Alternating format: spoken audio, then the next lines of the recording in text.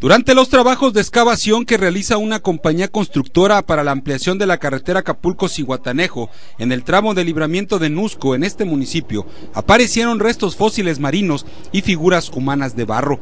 Las labores de excavación se efectúan a un costado del libramiento para extraer tierra que se utiliza en la ampliación de la carretera y según los trabajadores han sido muchas las figuras de barro que han encontrado al momento de rascar la tierra.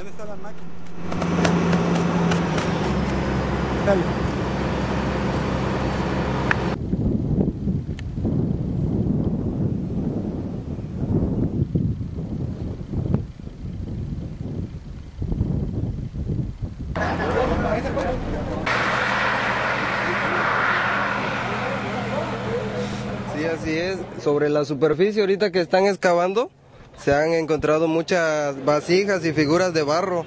Por lo regular la mayoría ya están quebradas porque las maquinarias empiezan a excavar y, rompen todo el, los monolitos que de ahí se, han estado encontrando. ¿Qué se estado haciendo con los monolitos? ¿Dónde los llevan?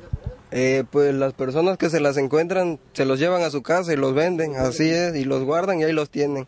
También nos dicen que han encontrado algunas conchas. Sí, muchísimas conchas de mar ahí van a ver ahorita allá donde está la trituradora, hay una, una capa de, de conchas, demasiadas conchas, así es, y vasijas de barro, pero todas quebradas. ¿Cuánto tiempo llevan realizando la excavación?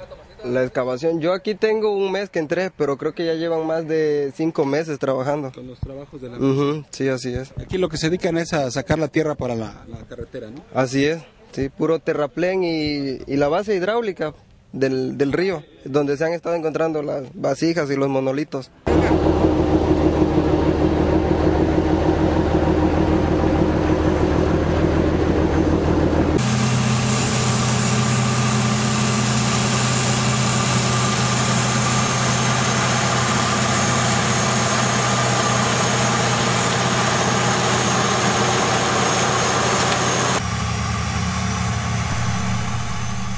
Lo que más abunda, dijeron los empleados, son conchas que al parecer son marinas y que demuestran la posibilidad de que el mar haya llegado en algún momento de la historia del planeta hasta ese lugar, el cual se localiza a una distancia de aproximadamente 5 kilómetros del océano, por lo que pudiera ser el origen de la existencia de esos organismos en ese lugar, abundaron los trabajadores.